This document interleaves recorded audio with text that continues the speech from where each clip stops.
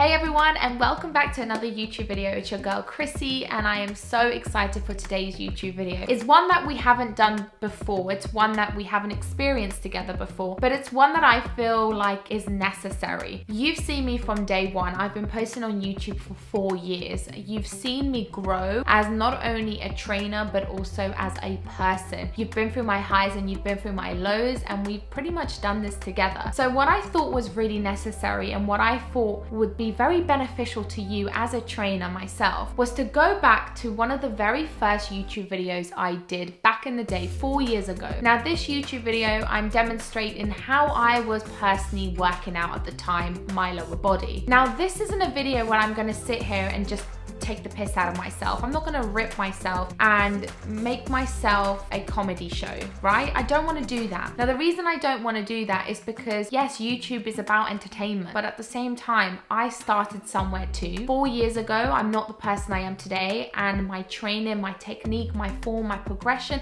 is not the same. So, if I had had the Krissy four years ago in front of me today as a client, what would I say to her? So we're gonna watch it back together. I'm gonna run you through the goods, the bads, what I would improve, and as a trainer, what tips I would give client Krissy, who was four years ago now. So without further ado, let's start the video. Hey everyone and welcome back to my channel. Today is the day so we're going we do legs together. and booty. Oh my god, I was yes, so nervous It's our favourite day. Hooray. Hooray! So I'm just starting off with a quick warm up. Okay. Just some hip thrusts. So I'm going to watch it and then go through to it. 30 reps.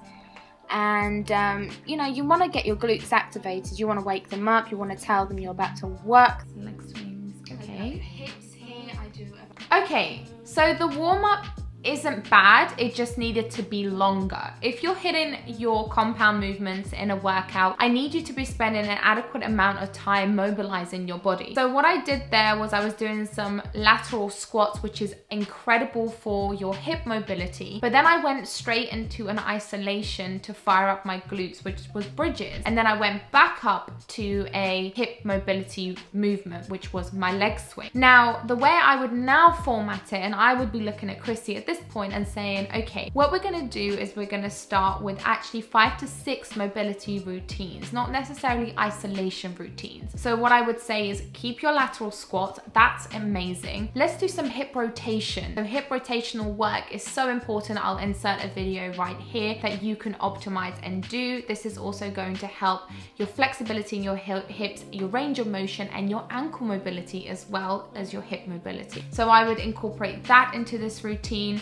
I would also incorporate just some upper body moves, but only slightly. So what I would do is a deep lunge with a rotational twist to really fire up my lower back and my back. Because when you're doing any type of compound movement, you are gonna be working your upper body too. So it's important that you warm up your entire body, but focus primarily a little bit more on your lower body. Three movements, I feel like it's it wasn't enough. I would add, I would actually double this routine. The leg swings are great. Um, leg swings are super important. It's dynamic. And yeah, I think overall it could have been longer, but it's not bad. Now we're gonna go into stiff leg deadlifts. When performing any form of deadlift, you need to make sure your back remains straight and your core is engaged. Start off with just 10 reps just to get into the mode. Okay, so instantly right then and there, I've gone into my first set with a load. So I haven't done an unloaded barbell first set. So that would be like my pre-warm up to my set. So I recommend if you're someone who's completely new to the gym or just absolutely anybody at this point, just start off with a very light weight on your barbell or just the barbell alone, just to feel the range of motion and just to feel how the movement feels to you. Looking at this stiff leg deadlift, first of all, I'm overly hyperextending. I'm speeding through this exercise, which could actually leave me to have none of that muscle, mind to muscle connection. I'm not really engaging with the movement. I'm just trying to get it done. So what I would suggest doing is here is a video of me stiff leg deadlifting currently to what I was doing four years ago. And as you can see here, I'm taking my time. I'm actually focusing on the reps. I'm not overly hyperextending my body, which could cause so much lower back pain. I cannot stress that enough. So what I would say to Krissy in this point, I would say, okay, what I need you to be doing here now is I need you to be actually increasing the tempo, one, two, three, down, keeping the barbell close to your shins and don't let the barbell hit the floor. Then you're gonna come back up and imagine your heels are pushing back, Krissy. Great. Then you're gonna bring the barbell up and you are going to scoop your coccyx bone and contract your glutes without over hyperextending. And for you to be able to do this, I want you to keep your chin nice and tucked into your chest and keep your core tight. Four sets. So the rep range is, is good here, by the way. The rep range is good. Okay, so I'm looking at my feet placement here and I would say, Krissy, bring your feet in slightly closer and then externally rotate your feet just slightly outwards. My hand position in here is also very, very exaggerated. It's very wide. So I would bring my hands closer to the barbell. I would also position both my palms facing my thighs and this is gonna actually give me so much more security. Now, another thing I would say is the rep range isn't bad. A 12 rep range to four sets is a safe bet. And also you're focusing on hypertrophy here, which is muscle growth. So if you're looking to increase your muscle, I would recommend a rep range of eight to 12 reps is what you wanna be what you wanna be targeting, sorry. Don't rush this exercise and always keep your head neutral. Don't start looking sideways. Just too much hyperextension. Boom, coming at the top and really extending my back here. You shouldn't be doing that. Too much. That's a heavy weight as well, 15 on each side. Moving on to the second exercise, which is going to be a drop set split squat. Start off the first set with 10 reps at a light weight. Okay. We're then going to be moving on to set number two, which is going to be eight reps at a moderate weight. Sis, are you crazy? Wait a um, minute. Is that a five and a six and a six and a five? Or is that a five and a five? Is that a six and a six? So I didn't even realize here that I was actually, I think I was doing the same weights. So hold on a minute. I just need to just clarify this. So I'm starting off with sixes on each side and then I'm dropping the weight and I'm picking up sixes again. Okay, so this is how I know I'm looking back at this and I, I can just remember how I felt being in that gym. Like I was recording myself. I didn't really know what I was doing that much. I thought I did. I did and I didn't. I was probably really anxious because I was recording as well and it was a local gym. So people probably thought, what the hell is she doing? And I was just picking up weights. So I picked up the same weights. That's the only thing I can think of me doing. I actually feel like kind of sad that I would do that. And also kind of stupid, but it's okay. I am telling you. Okay, so looking at this, the form is actually not bad. I'm actually really impressed with this form. I've always had a thing with working out with no shoes. I don't know why, it's just a thing for me. But this is not bad form at all. You can see my back is slightly leaning a bit forward. That will hit the glute much more. If you're more upright in a split squat, you're gonna hit your quads. If you're leaning a bit forward, you're gonna hit your glutes a little bit more. You can see that I'm holding the barbell, the dumbbells completely fine. You can see that my foot placement is completely fine. I'm not too wide, I'm not too close. We're actually doing good here with the form. One thing I would say though is I would slow the movement down completely and I would not lock my knee out at the top. I would keep that constant tension. Going to kill you. My glutes were on fire. Yes, of course your glutes were on fire because you're doing how many reps, sis? This is all volume training. This is just too much volume. A split squat is classified as a unilateral move, which means a singular movement. Now, when you're doing a unilateral move, it takes it out on you. That's why split squats are so difficult because it takes your soul away. It takes your breath away. It takes your complete life away. So doing as much volume as I'm doing here with a drop set, I wouldn't personally ever recommend that again to myself or to anybody. So I would focus more on doing maybe 12 reps, 10 reps each leg, three to four sets, which is exactly what you have on the Strong program on the Tone and Sculpt app. But look, like I was finding my way, I was learning, I've learned so much since this this period and time of my life. I've educated myself so much. I've gained even more qualifications in the field that I'm in. I've had the privilege of training even more women. So, you know, props to me for even attempting this. This is such a difficult exercise with so much volume and I attempted it and I did it. There is nothing wrong with it. I just personally would completely strip it back and it's not necessary to do that much. Okay, so moving on to the next exercise is a curtsy lunge. So here I'm doing another unilateral move. So what I would advise Krissy, my client here today, is you don't need to do two uni unilateral moves. If you want to, you can, but you don't need to, especially for four sets, because that's a bit excessive.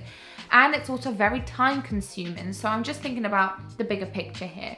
Adding a step allows for more of a range of motion. There's also nothing wrong with using a Smith machine. Uh, arguably, there's so much opinion out there saying don't use a Smith machine, then use it. Listen, there are literally the best bodybuilders in the world using Smith machines. There is nothing wrong with using a Smith machine. Please just note that. So the box I understand it's for range of motion. I would have put my foot a little bit more forward. Is this movement necessary? Not really when I've just done an excessive amount of split squats. But if my client really wanted to do it, I would, I would advise against it. But if she really wanted to do it, then I would listen to the client. Superset, which is gonna include a kickback and pulse squats. Okay, so moving on to another unilateral move. So this is just a lot this is a lot of unilateral moves. I'm in the gym, so I'm not doing a home workout. The reason I mention that is if you are at home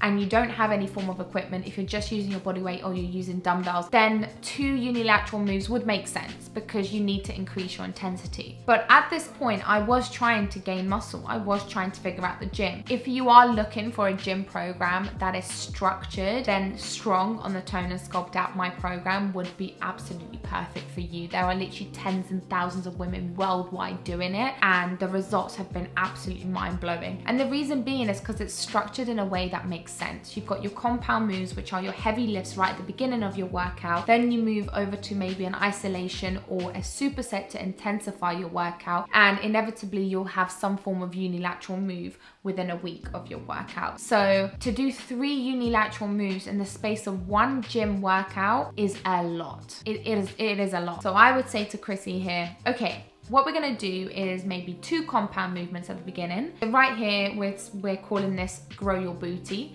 So I would say, okay, let's do maybe a sumo deadlift and we can even do another hinging movement, which is a stiff leg deadlift, or we can do a hip thrust. Arguably, hip thrust, people have this contrary opinion of whether it's a compound or not, because is it double jointed, is it multiple muscles, give or take.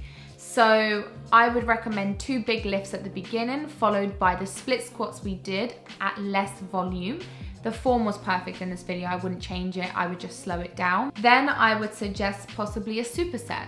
So a lot of people are hesitant to do kickbacks. I respect that, everybody has their opinion, but you know, kickbacks are great if performed right. So here I would say, one, I'm speeding up the exercise way too much. Number two, I would personally bend my forward knee a bit more. I would personally, I would actually lean a little bit more forward to isolate my glute a little bit more. But I'm definitely doing this exercise way too fast. Backs, keep your back straight. And raising my leg way too high. It's unnecessary to do it that high. And then when doing pulse squat. So I'm going straight into a pulse squat here. Not to come fully up all the tension in your legs and your glutes. See? See how I'm like halfway coming up? Okay. Yeah, that's what I want you to do. This is fine um, as a superset. It's actually not a bad superset at all.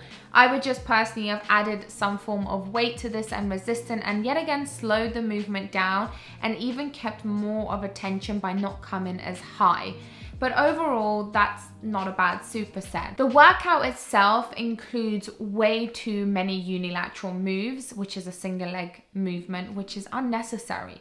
I would have added more of a bigger lift at the beginning, not just a stiff leg deadlift. I would have added another form of compound move or big lift. I would have focused more on strength rather than just rep ranges. Then I would have gone on to my supersets and my single leg movement. The aim of the game when it comes to strength training is to have variety in your workouts, but keep your foundations and your staples the same. So from this video, I still do stiff leg deadlifts. I haven't changed that. I've changed the way my form is and my technique, but the exercise itself, I haven't changed. So this is a reminder that yes, you can do new exercises out there. There's so much content that you can utilize out there, but I would strongly, strongly recommend to keep your staples your primary focus and focus on bettering your form and technique. So what I would do as well is look at this video and see how I'm over hyperextending and remind yourself of how I personally do stiff leg deadlifts now is completely different. And that's four years of progression. So that indicates to me that if you are a beginner or you're watching this or uncertain about your form, it just takes practice and every single session is an opportunity for you to learn and progress. I'm not looking at this video cringing out. I'm not looking at this video like, oh my God, I'm so embarrassed I posted that four years ago. I'm so happy I posted that four years ago and I can reflect back on it